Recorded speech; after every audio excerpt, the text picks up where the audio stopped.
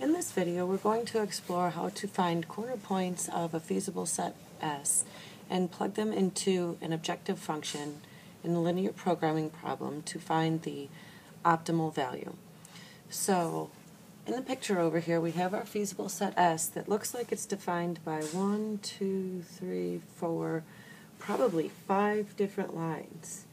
However, we only need the four corner points that define this feasible set S.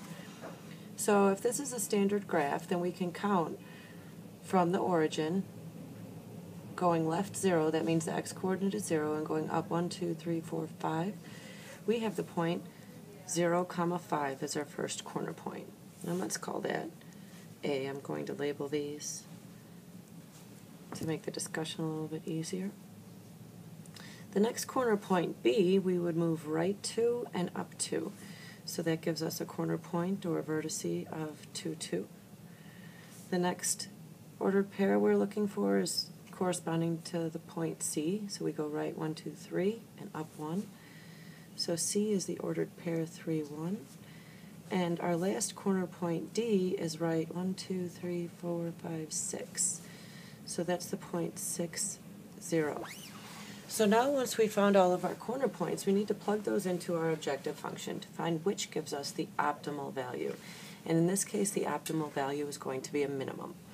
So in the objective function, we need to replace the x and y values of our ordered pairs into the objective function.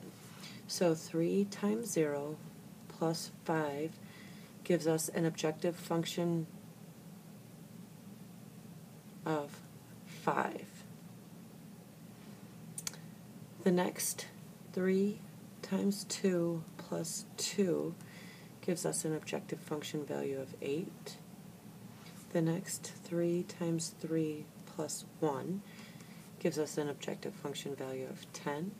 And finally, 3 times 6 plus 0 gives us an objective function value of 18.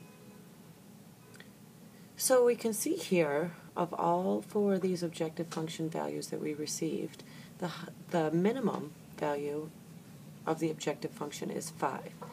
That occurs at the corner point 0, 5. So when x equals 0 and y equals 5, the objective function is minimized.